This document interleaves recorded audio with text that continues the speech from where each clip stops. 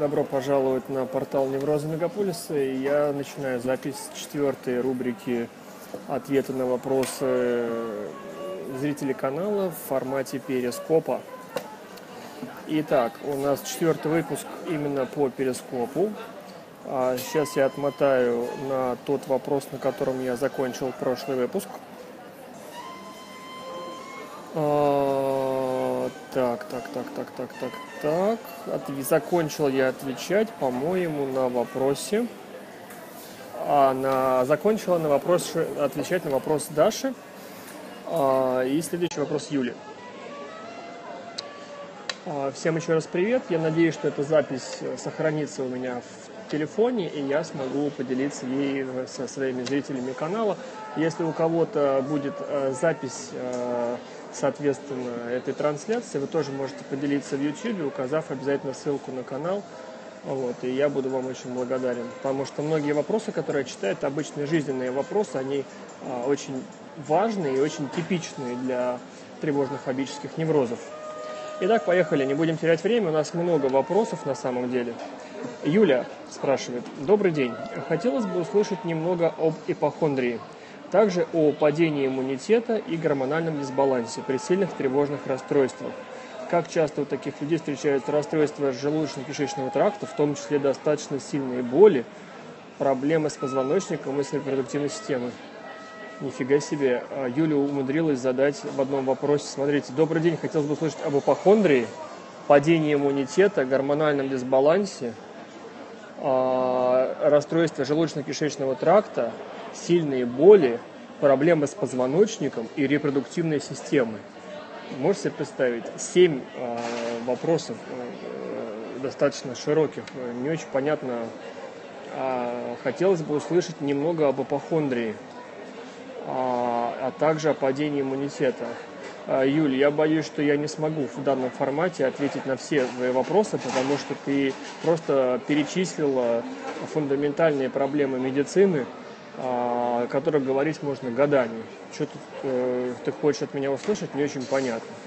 О проблемах э, с желудочно-кишечным трактом вы прекрасно знаете, что любая эмоциональная компонента так или иначе будет отображаться на желудочно-кишечном тракте.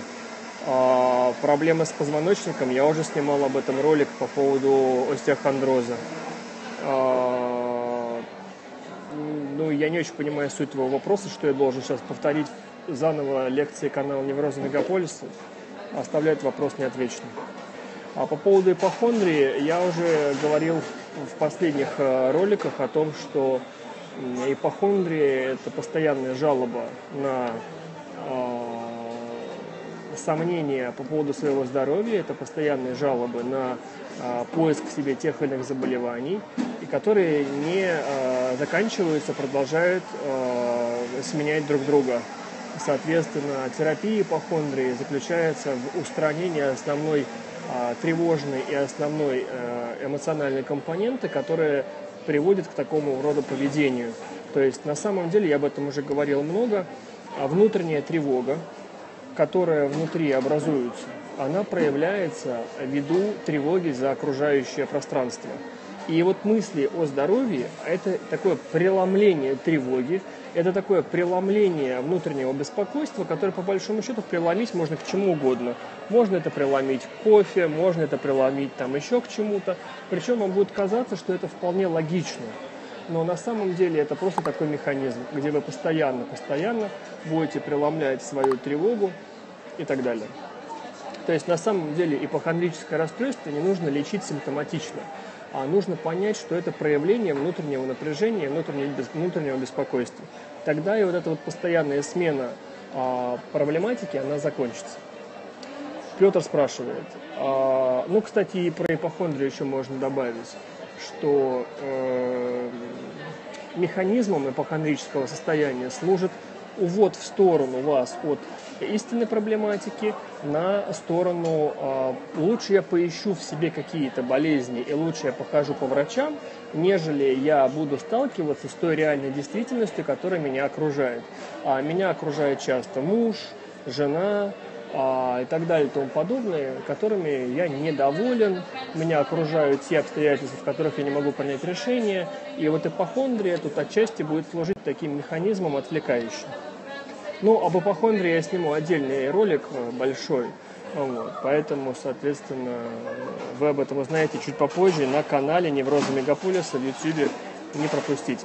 Петр спрашивает, Алексей, доброго времени суток. Скажите, пожалуйста, из определения ОКР можно сделать вывод, что у всех людей есть те или иные его проявления, какие-то страхи, мысли, мечты, замаливания, привычки и так далее.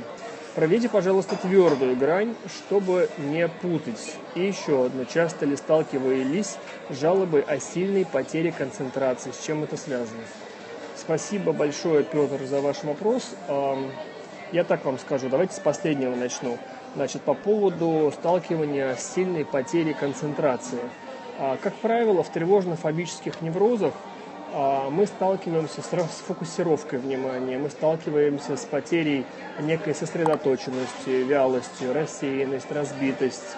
А, но при этом пациенты не испытывают каких-то таких тяжелых головокружений, вертиго, не испытывают тяжелые расконцентрации, где они не могут ходить, где они не могут выдерживать баланс.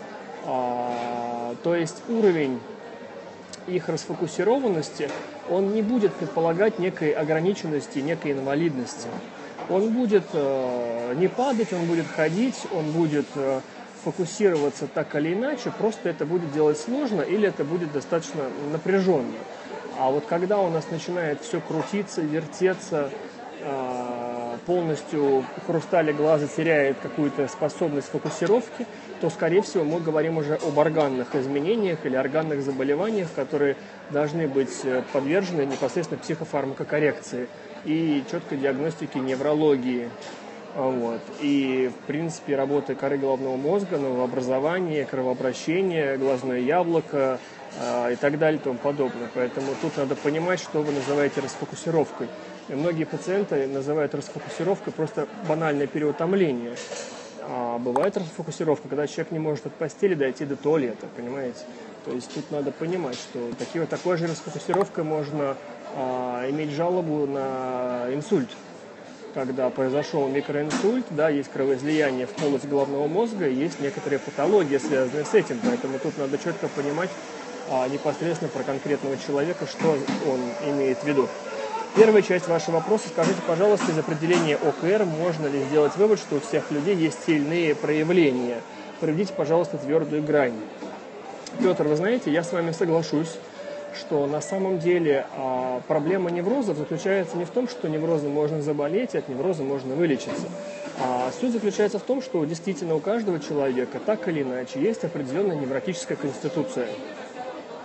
А для простоты понимания я это назову скажем так, умеренный невротик или умеренная невротизация, сильная невротизация и патологическая невротизация.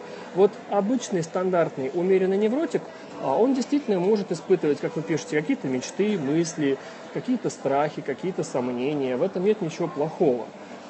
А, и грань здесь проводится именно по нескольким областям, Петр. Вот смотрите, первая область это область, насколько человек испытывает тревогу по фактическим э, показателям. Ну, например, а, человек понимает, что по факту с ним ничего не происходило или по факту ничего не предвещает. И обычный невротик не будет себе накручивать историю про то, а вдруг, а вдруг, а вдруг это, а вдруг то, а к чему это, а почему и так далее. А вот сильное невротическое расстройство как раз будет отличаться тем, что он будет раскручивать то, что на самом деле по факту никогда не было, и что он где-то услышал, а вдруг у него это случится, а что он будет тогда делать, ну и так далее.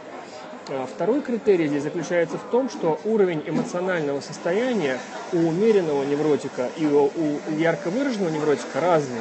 Умеренный невротик будет расстраиваться, обижаться, а, сочувствовать, сопереживать, плакать, я не знаю, а, со, сострадать и так далее. А вот сильный невротик будет испытывать очень яркие эмоциональные а, состояния, а, гнев, стыд, злость, вина и так далее, и так далее, и тому подобное. То есть на самом деле мы с вами по своей конституции одинаковые. Просто мы воспринимаем одни и те же ситуации с разным эмоциональным аффектом и делаем разные выводы из этого. И именно выводы и будут отличать нашу эмоциональную реакцию и качество жизни. Поэтому проведите, пожалуйста, твердую грань. Твердая грань – это те выводы и те эмоциональные поведенческие аспекты, которые ты э, делаешь в одной и той же ситуации. Там стоит три человека, и все три будут делать разные выводы. Виктория спрашивает. Доброго времени суток, Алексей. А, после ваших видео научилась. А, чего научилась? А, наконец понимать, как жить с атаками. Большими буквами написано. А, уже интересно. И это меня не расстраивает. Но симптоматика, восклицательный знак, угу. все время меняется. Если, к примеру, поговорила эмоционально, кружится голова, начинаю что-то делать физически, переключаюсь в, переключаться, переключать себя. Тут проявляются еще какие-то а, даже рвота на следующий день и ощущение, что снежный ком, симптомы от всего. А, прикольно вы пишете. Кстати, вот как вот вы пишете, это уже говорит об очень такой интересной штуке на что больше обратить внимание, чтобы попробовать, как убрать симптомы, мучаюсь полгода. Ребят, кому интересно в полном формате читать вопросы, зайдите в группу Алексея Красикова ВКонтакте, там в разделе «Вопросы к перископу» есть полная версия этих вопросов, потому что, вы знаете, иногда люди пишут так, что это читать просто невозможно. А, но суть я понял. А, во-первых, а, пишете вы примерно так же, теряя мысль, как вы ее и думаете. Это первое. А теряете мысль вы потому, что вы слишком эмоционируете. Это второе. Третье. А то, что у вас были какие-то атаки, как вы их называете, но благодаря нашему каналу вы смогли с ними жить, это в корне а, большая ошибка. И я эту большую ошибку постоянно педалирую и рассказываю об этом на своем канале, что, а, видимо, а, ваша проблема в жизни – это атаки, с которыми вы якобы живете, или там какой-нибудь ВСД или невроз, с которым вы боретесь. Это категорически неверное убеждение, и вы идете совершенно не в правильном направлении. Направление ваше – это не терапия каких-то атак, и не терапия ВСД, и не терапия каких-то там неврозов на самом деле. А у вас должно быть четкое понимание, что у вас очень сильное, серьезное психоэмоциональное расстройство, где вы очень эмоционально относитесь к разным а, жизненным событиям к разным жизненным ситуациям. Именно работа над эмоциями и над эмоциональным состоянием и является вашей психотерапией и так далее.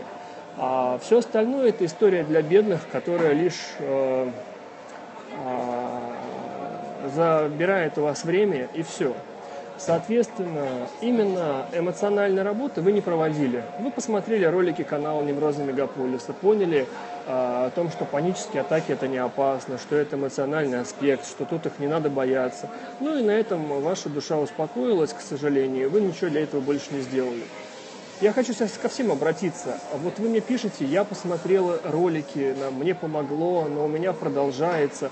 А вы что думаете, что от того, что вы посмотрите ролики, у вас что, поменяется в жизни что-то? Вы что, начнете много зарабатывать, у вас появится мужчина или женщина? Что вы сделали для того, чтобы ваш характер и ваша жизнь поменялась? Вы соизволили посмотреть ролики канала, и от этого что-то у вас должно измениться, что ли, в жизни очень так вот феерично? Нет, ребята, так не получится. Вы благодаря э, каналу Невроза Мегаполиса можете только понять, куда двигаться, и работать со специалистом или самостоятельно, используя профессиональные дистанционные материалы. Но а, от того, что вы смотрите ролики, никаких исцелений не происходит. Поэтому есть какие-то люди, которые считают, что от просмотра роликов должно что-то поменяться. Но это очень э, примитивное э, такое понимание вещей. Ролики имеют образовательный характер, которые образовывают людей с четким показанием, куда им двигаться, в чем они заблуждаются, чем заниматься. И вот, например, я отвечаю на ваш вопрос, говорю, что вы не занимаетесь своим психоэмоциональным расстройством. Вы просто тупо лежите дома и ничего не делаете. Соответственно, где ваша терапия неврозов? Где она? Где ваши работы над таблицами? Где ваши работы над эмоциями? Где три прописанные тетради за месяц каждый вечер? Где это? Где ошибки, которые вы допускали в когнитивно-поведенческом направлении? Я этих ошибок не вижу. Вы просто констатируете все факты, как вам хреново живется. А что вы сделали, чтобы вам жилось лучше? Ну, лежите дальше. Тогда что вы мне мозг морочите? Раиса спрашивает. Леша, расскажи, пожалуйста, еще раз, что такое лень, а, что об этом уже, ты уже об этом рассказывал, но, к сожалению, у меня глючил перескоп. Спасибо, Раиса. Раиса, привет. А, да, а, давайте про лень расскажем, потому что это такая интересная тема, и тема достаточно важная. А, во-первых, давайте я вам раскрою маленький секрет нейрофизиологии. Кто смотрит онлайн, хорошо. Кто будет смотреть в записи, если получится записать трансляцию, тоже хорошо. А, суть заключается лени в том, что человек а, имеет такой орган, который называется головной мозг. Не все, правда, об этом знают, но он есть. А вот этот орган, головной мозг, потребляет огромное количество глюкозы. А девушка, вот это Ахмед чего-то там, можно я вас попрошу не насиловать мой перископ и не писать, а просто меня внимательно послушать. Спасибо большое. А головной мозг потребляет а, огромное количество глюкозы. А, большое количество энергии и глюкозы тратится на мыслительную деятельность, на решение сложных задач, на решение логических задач, на преодоление дискомфорта, на преодоление эмоционального состояния, на размышления, на перешагивание некоторых паттернов, которые вам при, вы привыкли, на работу над новым формой поведения. Проще говоря, человеческий мозг расходует очень много глюкозы на какие-то новые, непривычные формы мышления или поведения. А, поэтому у головного мозга есть физиологический принцип наименьшего сопротивления или закона сохранения энергии. В том смысле, что мозгу очень просто протоптать определенные дорожки нейронные, по которому э, этот паттерн поведения или мышления будет постоянно бегать. И сдвинуться с этого паттерна мышления или поведения будет очень тяжело, потому что вас будет защищать биология головного мозга под названием «Зачем напрягаться? Давай как обычно». Вот именно вот в этом физиологическом аспекте будет крыться многие ответы, почему образуется лень. Лень – это защитный механизм головного мозга от лишнего, а, от лишней затраты энергии. Потому что поступить по-новому, подумать по-новому, остановиться в какой-то... Вот у вас, например, есть цепочка привычного а, мышления, да? А, вы наступили на ногу, он не должен, какого хрена, бла-бла-бла, и вы как-то там что-то сделали. Вот вы всю жизнь отточили определенную нейронную дугу, как реагировать на определенные обстоятельства, как реагировать на какие-то слова, как реагировать на какую-то форму поведения. И по этим нейронным цепочкам уже бегает все, э, скажем так, настолько по автомату, что энергия не тратится.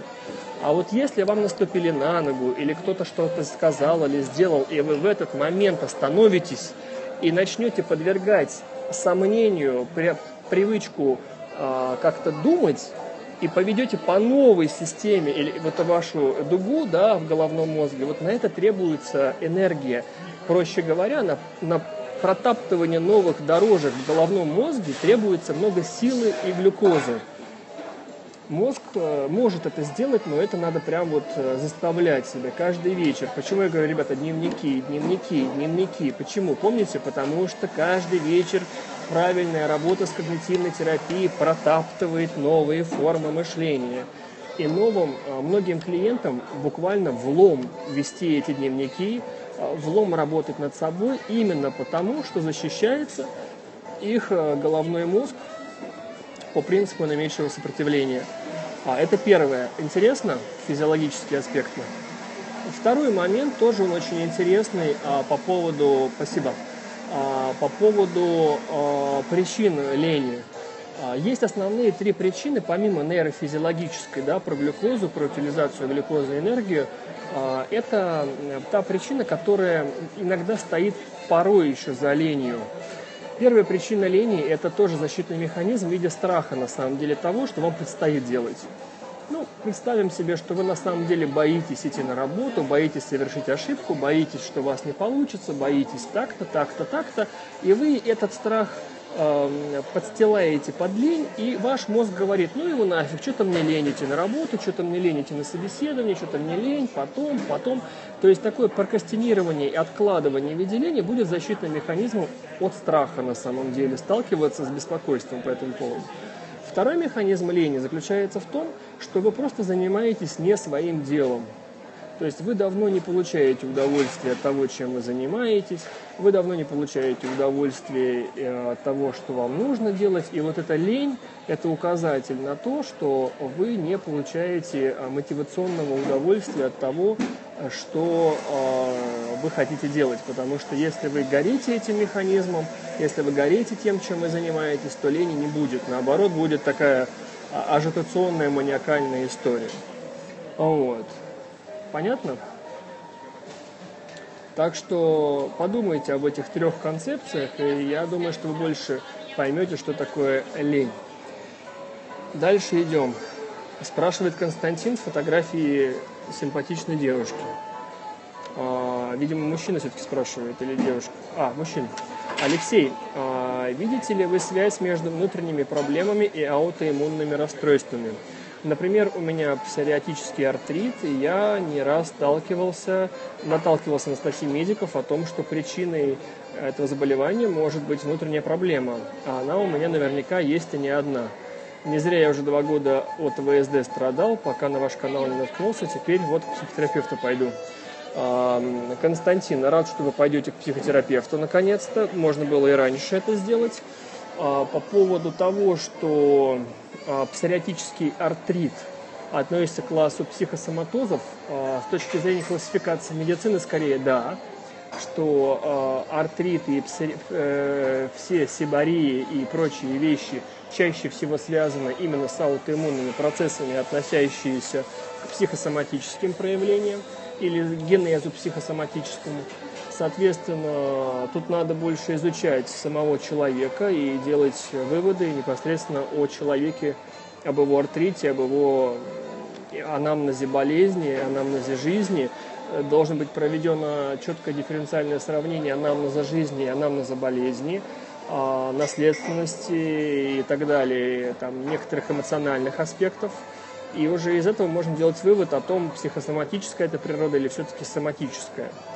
Далее, э, связь, конечно, есть, но опять же, это индивидуально все устанавливается. А то, что у вас два года ВСД, это не ВСД у вас два года. У вас два года эмоциональное яркое проявление ваших эмоциональных расстройств. Дальше идем. Артур задает большой-большой вопрос. Ой, тут три части. Я не буду читать все, Артур, извините. Прочитаю только название. Первый вопрос. Здравствуйте, Алексей. У меня проблема с кожей головы, а именно сильное выпадение волос, зуд, много перхоти. Я уже об этом говорил, что такое может быть, связанное с эмоциями, с беспокойством и так далее и тому подобное. Я отвечал на этот вопрос раньше. А второе. Как понять, что готов вынести из себя в контакт с терапевтом ситуацию, которая вызывает стыд? Как понять, что готов? А, ну, такой типичный вопрос под названием «Что делать?», «Как понять?», «Как быть?». Вот мне просто интересно, какой вы хотите узнать ответ, как понять, что вы готовы. Вот меня часто спрашивают, Артур, не только вы, как понять, что я готов.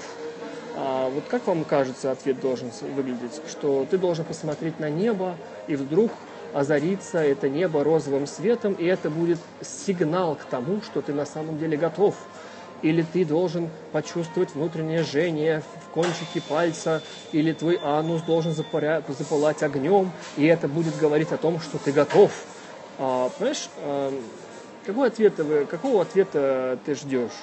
Когда человек готов, он это берет и делает.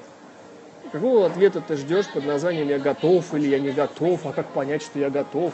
Если ты задаешь вопрос, как понять, что ты готов, значит, ты не готов, и значит, ты не хочешь. Соответственно, вопрос тут заключается в том, что почему я не могу рассказать своему консультанту о ситуации? Потому что есть эмоция стыда. Так, а почему есть эмоция стыда? А, это вопрос когнитивной терапии. Ты можешь сказать своему консультанту, что а, у меня есть ситуация, а, рассказывать которую мне стыдно, и я пока, наверное, не готов ее озвучить. И если твой специалист достаточно профессионален, то он э, оставит как бы в покое эту историю, но так или иначе будет тебя приводить к тому, чтобы ты э, смог ее рассказать, если ты пожелаешь, что никто от тебя ее не будет э, вытаскивать клещами, понимаешь? И третий твой вопрос. Мучает ощущение сильного тупого давления в затылке, и это давление проникает все глубже и глубже и проявляется в большей мере при контакте глаза в глаза в замкнутых пространствах, например, вагон метро. Ой, э, возможно, вы описываете последствия очень сильного эмоционального, э, эмоциональной проблемы, в принципе, прочитав вот все ваши три вопроса, пробежавшись глазами, скорее всего, мы говорим о очень сильной социальной дез, дезадаптации. А, возможно, мы говорим об очень сильном уровне социальных а, проблем, именно о коммуникации с людьми, где при контакте глаза в глаза вы испытываете очень сильное эмоциональное аффективное состояние, которое вызывает сильные спазмы, и эти спазмы вы описываете э, вот в этом вот э, разделе вашего вопроса. А, вот. Соответственно, я вам рекомендую показаться психотерапевту, неврологу и психиатру. Дальше идем. Наталья спрашивает. Алексей, здравствуйте. А, смотрю ваше видео уже давно. Очень помогает, за что вам огромное спасибо. Пожалуйста. Моя проблема – это постоянные сомнения в правильности выбора. А ведь когда выбираешь одно, то оказываешься от, отказываешься от другого. Короче, я боюсь допустить ошибку. А когда начинаю об этом думать, обязательно ее допускаю. А затем виню себя, что, делать, э, что сделал неверный выбор, посмотрите, как работать, посоветуйте, как работать с чувством вины, обиды, неуверенности в себе. Спасибо. Наталья. Наталья, хороший вопрос, достаточно объемный, но он очень важный и достаточно популярный. Давайте я отвечу на него так. А, во-первых, по диагностике мы говорим, конечно, об ОКР, да, потому что именно обсессивно-компульсивному неврозу свойственна вот эта нормативная структура поведения под названием «я должна быть хорошей», «я должна быть правильной», «я не должна совершить ошибок», «люди не должны подумать обо мне плохо», «только бы не облажаться», «только бы не это», «только бы не то». Это первое. Второе. А, очень часто, вот вы очень правильно описали – у людей есть а, страх, и даже, я бы сказал, не страх, а есть убеждение, что их ошибки – это плохо. Ошибки – это ужасно. Ошибка доказывает, что я тупая. Ошибка доказывает, что я не профессионал. Ошибка доказывает, что я там падшая женщина. На самом деле я вам рекомендую начать смотреть на ошибки по-другому. Смотрите на ошибки не как на доказательство, что вы глупый и что у вас что-то не получилось. Смотрите на ошибки как на опыт, который делает вас сильнее. Делайте вывод из этих ошибок и благодарите ошибку, потому что вы смогли стать более профессиональным и могли, смогли стать более а, компетентным в каком-то вопросе, в котором не разбирались. Коллекционируйте свои ошибки, делайте из них такую коллекцию, изучайте вопрос, из-за которого вы ошиблись. Если вы не смогли отправить факс, изучите все факсы в, в офисе, изучите хотя бы потратьте несколько часов на то, как работает каждый факс, как он отправляет. И ошибка с отправленным факсом превратится в изучение неких факсов, и вы станете большим специалистом по отправке факсов в вашем офисе. Соответственно, каждая ошибка вами допущенная должна превращаться в шаг в изучение вопроса, на котором вы ошиблись, а никак не гноби, гноблением себя, что я ошиблась, и это ужасно, и так далее, и тому подобное. Вот это второй момент. Третий момент вызывает сомнения по поводу выбора. Здесь такая история, что опять же у людей с ОКР есть такая парадигма в голове, что есть некий правильный выбор, вот потому что ОКРщики это все пятерочники все ребята, у кого в школе были золотые э, дипломы, э, золотые медали и дип, красные дипломы, это все больные на всю голову люди, я могу вам сто процентов сказать. Я еще не видел ни одного здорового человека, отличника в школе. Ни одного. Поэтому все ребята, у которых пятерки в школе и красные дипломы, то, что там пестуются родителями, это инвалиды наполовину своем эмоциональном смысле. Потому что эти красные медалисты, эти пятерочники в жизни странствуют по кабинету психиатров и психотерапевтов, потому что не могут прикаяться со своим правильным поведением. А, в этом и большая беда, кстати. Так вот, а, вот это правильное некоторое поведение, а, вот это правильное такое поведение, оно создает еще одну, к сожалению, такую проблему под названием «я не должна ошибиться в своем выборе». Потому что есть типа правильные выборы, а есть неправильные выборы. Но на самом деле просто в школе научили, что есть правильное решение задачи и неправильное решение задачи. А вот такой вот примитивизм, а, он как раз создает у людей в школе, особенно у пятерочников, такое неправильное поведение, что есть правильное решение задачи, есть неправильное решение задачи.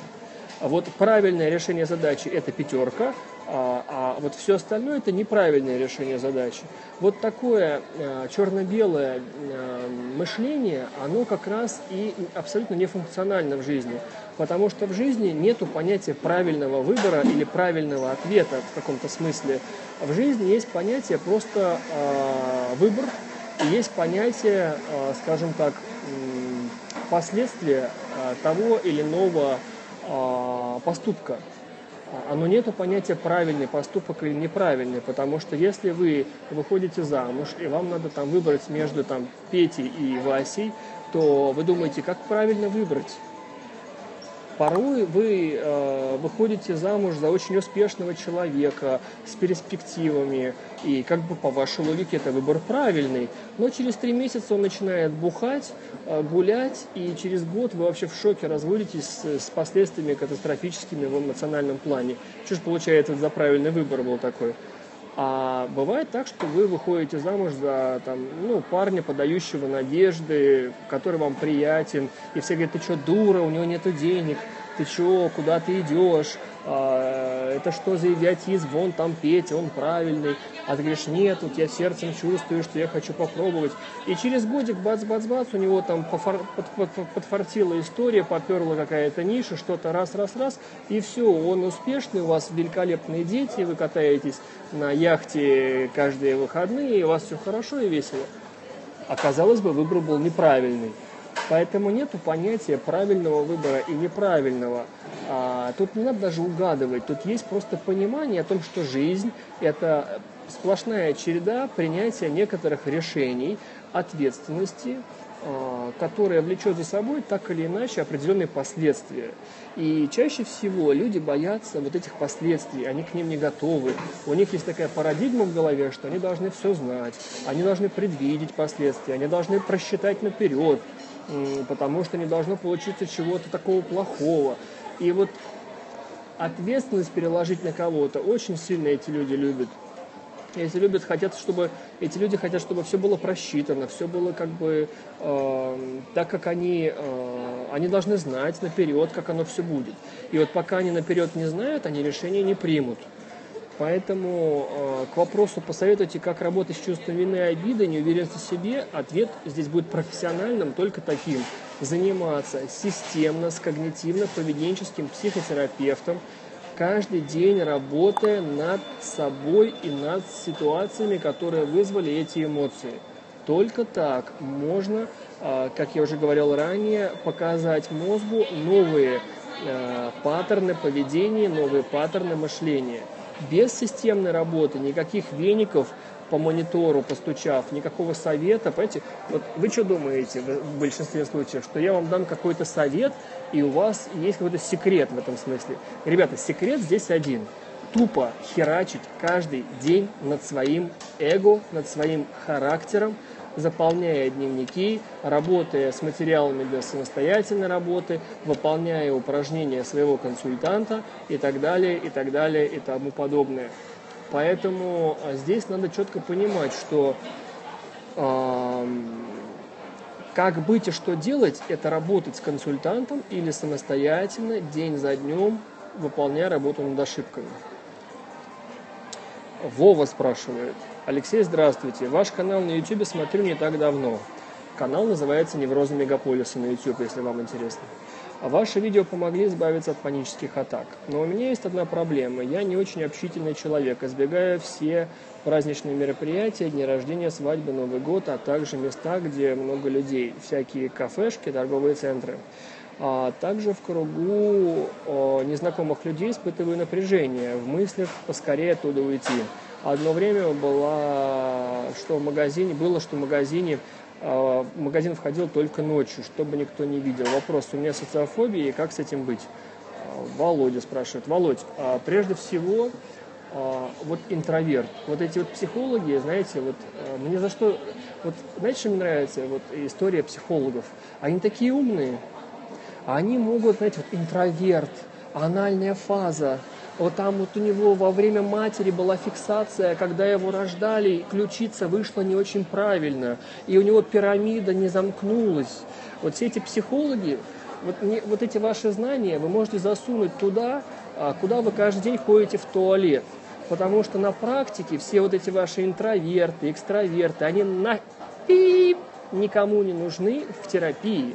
Потому что в терапии нужно тупо открыть канал невроза мегаполиса, посмотреть ролик по социофобии, набраться оттуда определенных упражнений и их начать делать. И все ваши интроверты, экстраверты и прочие могут быть засунуты куда-нибудь подальше, потому что ваша теория вообще далека от практики работы в кабинете с людьми с реальными проблемами. Вы можете сидеть с умным лицом, в очках, с красным дипломом МГУ, но вы будете не фи пи пи неэффективны для клиента ни одного. Вы будете понимать, что с клиентом произошло. Вы будете понимать глубину его проблемы. Но ему от этого не легче. Клиенту от этого не легче вообще ни разу. От того, что вы такой умный психолог, клиенту лучше не стало. Вы ему не можете посоветовать несколько банальных поведенческих упражнений на улице, чтобы ему стало легче. Какой вам красный диплом МГУ? Зачем он вам нужен? Но вы круто анализируете тест MMPI. У вас там очень хорошие показатели. Вы молодец. У тебя вот шкала ушла выше. С вас 5000 рублей. Вот вы знаете, у вас вот шкала вот здесь вот такая. На кой вам эта шкала сдалась? Я вам сочувствую, что у вас такой диплом. Вы зря деньги потратили.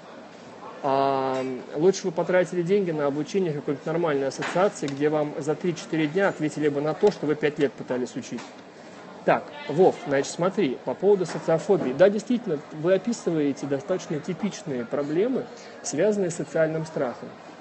Значит, Вов, смотрите, первое, что я вам рекомендую, это посмотреть э, большой трехчасовой вебинар по социофобии. Он находится на канале Невроза Мегаполиса, один из крайних роликов. Там три часа. А в этом вебинаре есть упражнения – а, понятие проекции, понятие светофора, а, когнитивные аспекты. Это первое, с чего надо начать. Второе, надо понимать, что вы испытываете страх не потому, что вас кидаются яйцами, не потому, что за вами бегают баб, баба Яга там на улице, да, а вы испытываете страх, потому что на самом деле вы, контактируя с людьми, как-то думаете. Например, а если они подумают, а если они подумают обо мне так, а если они скажут так, а если я сделаю это. И все это ужасно и недопустимо. Именно вот с таким мышлением а, и надо будет работать. Соответственно, а, смотрите э, видео на канале Невроза Мегаполис, он называется «Социофобия». Выпишите все упражнения и действуйте по плану, вам уже станет проще. А если захотите дальше, то на сайте без невроза ТВ в разделе «Материал для самостоятельной работы» есть э, материал, один называется «Самооценка», другой называется стрессоустойчивость. Вот этот материал вам очень сильно поможет именно в практике, работая каждый день над собой. А, спасибо, ребят, за вопросы. Я думаю, что мы на сегодняшнюю трансляцию закончим. Уже все устали, да, я так думаю. А, да и ролик будет длинным. Спасибо большое. А, соответственно, я Дальше отвечу на все ваши вопросы. Их осталось раз, два, три, четыре, пять, шесть, семь, восемь, девять, десять. Около 13 вопросов осталось, и я на них отвечу чуть позже. А, если этот ролик записался, он выйдет на канале Невроза Мегаполиса. Канал называется Невроза Мегаполиса в YouTube, сайт называется Без Невроза ТВ. А, найди меня, ты везде найдешь ссылку на мой сайт, где можно все это купить, если ты говоришь про дополнительные материалы. А на канале Невроза Мегаполиса все есть бесплатно. А, значит, в следующий понедельник на канале Невроза Мегаполиса выйдет большой материал. Он называется «Работа с мыслями и эмоциями» или а, он будет а, немножечко по-другому называться. В общем, в понедельник будет большая трехчасовая лекция на канале. А, этот видео, если оно записалось, то оно выйдет сегодня или завтра на канале. Значит, и теперь каждый понедельник и четверг у нас на канале будут обновления. Соответственно, подписывайтесь, следите, что в понедельник будет какое-то видео и в четверг будут какие-то видео. Спасибо за трансляцию. Ваш Алексей Красиков, канал Неврозы Мегаполиса.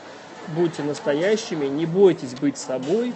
А, задавайте себе постоянно вопрос, как я себя пугаю, как я себя злю, как я себя тревожу. И работайте с внутренним ответом на эти вопросы. Спасибо большое. Подписывайтесь на наш канал. Увидимся. До свидания.